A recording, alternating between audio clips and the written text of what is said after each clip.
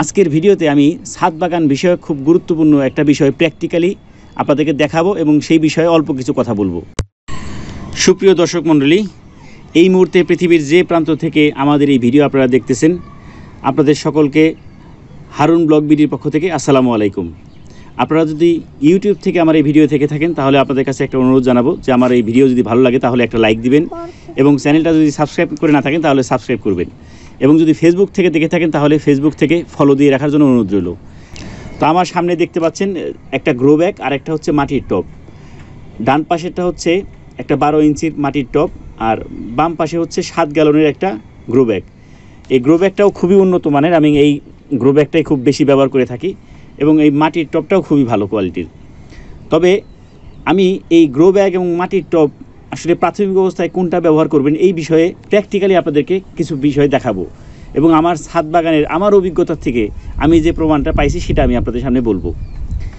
প্রথম কথা হচ্ছে, একজন মানুষ যখন বাগান শুরু করে, সে আসলে চিন্তা করে যে আমি গ্রো ব্যাগ নিব না মাটির টব নিব। তো প্রথম কথাই হচ্ছে, আপনি যখন একটা নার্সারি থেকে ছোটো চারা আনবেন, তো আমার অভিজ্ঞতা থেকে আমার কাছে মনে হয়, সেক্ষেত্রে সবচেয়ে বেস্ট হচ্ছে মাটির টব মাটির টবে একটা গাছ যে পরিমাণ গ্রো করবে, সেটা কিন্তু আপনার গ্রো ব্যাগে প্রাথমিক অবস্থায় অতটা করবে না। তার কিছু প্রমাণ আমি আপনাদেরকে একটু পরেই দেখাবো। তবে গ্রো ব্যাগের কিন্তু অনেক সুবিধা আছে।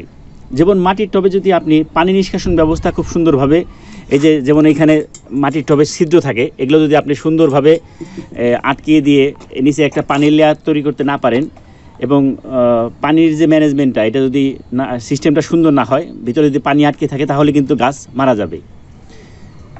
অপরদিকে এই গ্রো ব্যাগে কিন্তু গাছ এনে পানি নিষ্কাশন ব্যবস্থা কোনো কিছু দরকার হয় না ডাইরেক্ট গাছ শুধু জৈব সার বা বিভিন্ন ভালো মানে মাটি দিয়ে রোপণ করে দিলেই হয়। তবে এখানে একটা কথা হচ্ছে, যেহেতু গ্রো ব্যাগের পানি ধরে রাখতে পারে না, পানি ঢেলে দিলে সাথে সাথে কিন্তু চারদিক দিয়ে অসংখ্য ছোটো ছোটো ছিদ্র আছে, সেদিক দিয়ে পড়ে যায়। তো সেক্ষেত্রে এখন যেহেতু রৌদ্রের, এখন রৌদ্রের যেহেতু প্রচুর তাপ, আপনি যদি ছাদে একটা নতুন গাছ রোপণ করেন, বিশেষ করে যদি কোনো এমন গাছ হয় যে গাছটা মাটিতে, নার্সারিতে মাটিতে রোপণ করা ছিল এবং শিকড় কেটে তারপরে পলিটা উঠিয়ে নিয়ে এসে আপনি রোপণ করতে যান, তখন এটার যখন গোড়াটা ড্রাই হয়ে যাবে প্রচণ্ড রৌদ্রে, তখন গ্রো ব্যাগে এই গাছটার অনেক সময় মারা যেতে পারে। আর যদি মারা নাও যায়, সেক্ষেত্রে এটার বৃদ্ধি পেতে অনেক সময় নেবে। অথচ সেই একই গাছ যদি আপনি মাটির টবে রোপণ করেন, দেখবেন সেটার গ্রো অনেক বেশি করবে। তবে একটা গাছ যখন আবার একটু মাটির টবে আপনি একটু বড় করে নেবেন, এরপরে যখন সাত গ্যালনের একটা গ্রো ব্যাগে আবার রিপোর্ট করবেন, সেই গাছটা কিন্তু খুব দ্রুত বড় হবে। অর্থাৎ এইখান থেকে বোঝা গেল যে আপনি যদি প্রাথমিক অবস্থায় একটা মাটির টব দশ বা বারো ইঞ্চির ব্যবহার করেন ছোট গাছের জন্য, সেক্ষেত্রে ভালো হবে। এই যে আমি বললাম যে এটা ভালো হবে, তার কিছু প্রমাণ আপনাদেরকে দেখাচ্ছি। যেমন, আমার সামনে এই যে এখানে মাটির টবে একটা বাড়ি ওয়ান মালটার চারা দেখতে পাচ্ছেন। আর তার পিছনেই হচ্ছে একটা হচ্ছে পাকিস্তানি কমলা, আর একটা হচ্ছে এটা খুব সম্ভবত, দেখি এটা ট্যাগ লাগানো থাকার কথা। ও সরি এটা ট্যাগ লাগানো, এটা খুব সম্ভবত এটা হলো থাইটো কমলা। দেখেন, এবং এর পাশে এই যে এইখানে দেখতে পাচ্ছেন এটা হচ্ছে সাউথ আফ্রিকান ইয়েলো মালটা, এটা হলো বারো ইঞ্চির এটা হচ্ছে সাউথ আফ্রিকান ইয়েলো মালটা, এটা বারো ইঞ্চির একটা টবে রোপণ করা হয়েছে। আমি বেশ কিছুদিন আগে অনলাইনে ফেসবুক প্ল্যাটফর্ম থেকে সাদিয়া নার্সারি থেকে এটা কিনছিলাম, এই সবগুলাই।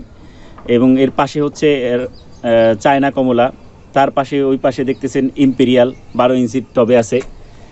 এগুলোতে দেখেন কত সুন্দর কিন্তু সবুজ হয়ে একদম পাতা ছেড়ে দিছে। এবং ঠিক একই সাথে একই দিনে রোপণ করা এই গাছগুলো কিন্তু অনেকটা এর থেকে বড় ছিল। অথচ এটা কিন্তু খুব আস্তে আস্তে কেবল পাতা ছাড়তেছে। এটার কারণ একটাই এটার দেখেন যে মাটির টবে কিন্তু, মাটিটা কিন্তু এখনও আমি সকালবেলা পানি দিছি। দেখেন এখনও একটু ভেজা ভেজা একটা ভাব আছে, হালকা একটু ভেজা ভেজা ভাব আছে। এতে গাছটা কিন্তু হেলদি থাকতেছে। অথচ এই একইভাবে আমি কিন্তু সকালবেলা এইগুলোতে আরও বেশি পানি দিছি। অথচ এটার সাইড দিয়ে পানি সব পড়ে যাওয়ার কারণে কিন্তু গোড়াটা ড্রাই হয়ে গেছে অনেকটা। এবং এই কারণে কিন্তু গাছের বৃদ্ধি কিছুটা হলেও ব্যাহত হইতেছে। এবং এই গাছগুলো যেহেতু শিকড় কাটা অবস্থায়, অর্থাৎ শিকড় মাটিতে এগুলো গাড়া ছিল নার্সারিতে, এবং এগুলো শিকড় কাটা অবস্থায় এগুলো ওনারা কিন্তু কিছুদিন রেস্ট দিয়ে তারপর কুরিয়ার করে থাকেন।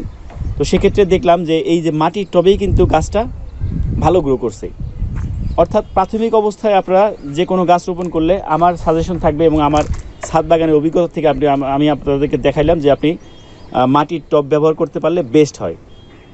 আর এরপরে যখন এটার থেকে আপনি রিপোর্ট করবেন, তখন আপনি এই ধরনের একটা বারো ইঞ্চির পরে আপনি সাত সাত গ্যালনের একটা গ্রো ব্যাগ দিতে পারেন এবং সেক্ষেত্রে ভালো মানের একটা গ্রো ব্যাগ দেওয়ার চেষ্টা করবেন। যেমন আমি এটা কিন্তু কোনো প্রমোশনাল ভিডিও না। আমার ছাদ বাগানে আমি বেশিরভাগ গ্রো ব্যাগ এখন ব্যবহার করি। ছাদ বাগান ছাদ কৃষি যে পেজটা ফেসবুকে ওনাদের কাছ থেকে নেই সিরাজ টেকের ব্যাগটা এই ব্যাগটা কিন্তু খুবই ভালো কোয়ালিটির ব্যাগ দেখতে পাচ্ছেন। তো এটা আপনারা রিপোর্টিংয়ের জন্য নিতে পারেন। তো আমি আমার অভিজ্ঞতাটা আজকে আপনাদের সামনে শেয়ার করার চেষ্টা করলাম যে এই দেখেন এইখানেও কিন্তু আরেকটা ই দেখায় যে ফলনের ব্যাপারেও দেখাই যে একই সাথে রোপণ করা এই গাছটা কিন্তু যথেষ্ট বড় সড়ো একটা গাছ। এটাও ভিয়েতনামি মালটা গাছ। আবার পাশে এটা দেখতেছেন, এটাও কিন্তু ভিয়েতনামি মালটা। অথচ মাসাল্লাহ এই যে বারো ইঞ্চির টবে কিন্তু এটাতে কত সুন্দর এই দেখেন, এই যে ফল সেট হয়ে গেছে অলরেডি অথচ এটাতে কিন্তু ওইভাবে ফুল ফল সেট হয় না। এটার কারণ হইতেছে এটাতে মাটিটা খুব বেশি ড্রাই হয়ে যায় বা এই ধরনের কোনো একটা ব্যাপার অবশ্যই এখানে আছে। তো আপনাদেরকে ধন্যবাদ জানাচ্ছি। শুরু থেকে শেষ পর্যন্ত যারা আমার এই ভিডিওটা দেখলেন এবং আপনাদের ব্যক্তিগত কোনো মতামত থাকলে অবশ্যই কমেন্ট সেকশনে জানাতে ভুলবেন না। তো সবাই ভালো থাকবেন। আল্লাহ হাফেজ।